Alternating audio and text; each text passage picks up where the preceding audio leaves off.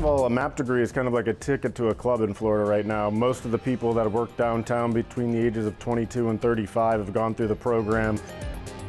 It's a great networking mechanism professionally.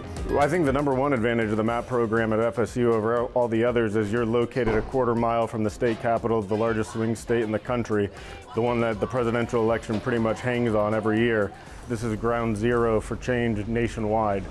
You are being taught by the best in the business. Our fundraising teacher is someone who fundraises. Our political communication teacher is someone who has worked in political communications. This is their nine to five. A lot of uh, PhD style programs in political science are focused more on the theory than the actual application of techniques and strategies to get things done. Uh, the MAAPP program really focuses on how to get things done and uh, also focuses on building your network of people to get into politics, which is very important. Working in small groups in the MAAPP program, you learn how to analyze legislative policies and make recommendations on those policies, while also giving a very concise and succinct presentation on those.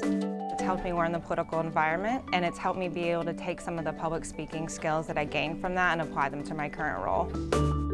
The fact that you can get uh, a master's degree, uh, I completed mine in 11 months while working full-time, um, so that was very appealing. You can have your um, work experience and your life continue uh, and still get uh, a graduate degree.